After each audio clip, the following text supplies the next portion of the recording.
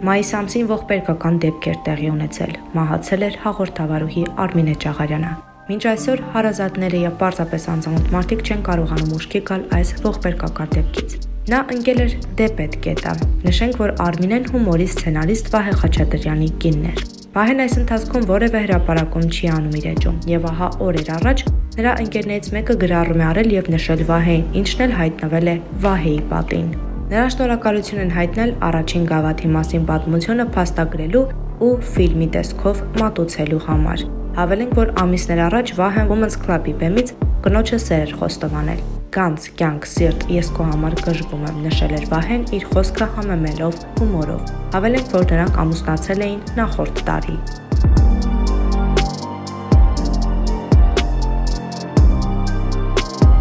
Բաժանորդագրվեք մեր ալիքին սեղմեք զանգակի վրա, որպիսի առաջինը դուք տեղեկացված լինեք վերջին եւ ամենաթեժ լուրերից։